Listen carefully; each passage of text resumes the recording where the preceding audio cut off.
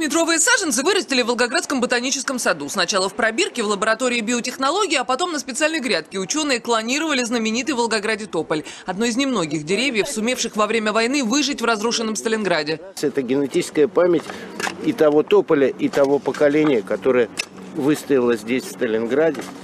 На довоенных фотографиях в центре Сталинграда красивый сквер, много зелени и фонтан. А так это же место выглядело сразу после окончания битвы. Рядом железнодорожный вокзал, за него шли ожесточенные бои. С высоты летящего самолета хорошо видны выжженные руины и несколько уцелевших деревьев. Но только на одном из них весной 43-го появились зеленые листочки. Сторожилы помнят об этом тополе.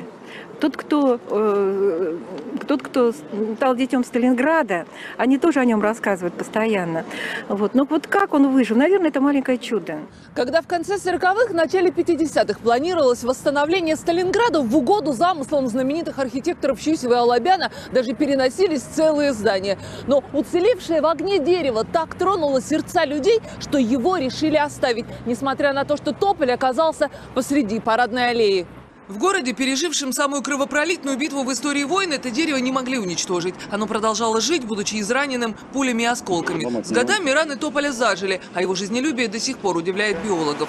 Летом прошлого года специалисты провели измерения и полное обследование тополя. Оказалось, что ему почти 100 лет, при том, что обычно такие деревья в волгоградском климате не живут дольше 60. Может быть, после ужасов войны впитала в себя вот жизненную какую-то энергию, силы и хочет жить дальше. К сожалению, болезни дерева не щадят, и сколько оно еще будет жить, никто сказать не может. Но стойкий генотип решили сохранить. Мы снимаем черенки, отрезаем все лишнее, листья и помещаем пробирку с дистиллированной водой, э, чтобы довести до лаборатории биотехнологии.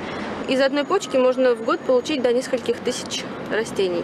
В лаборатории черенки разделили на крошечные кусочки и поместили в пробирки с питательным раствором. Будущие ростки сохранят все качества знаменитого тополя. Те, кто отправляется на экскурсию по Волгограду, приезжают на аллею героев и останавливаются возле тополя. Узнав о его истории, обязательно фотографируются на память.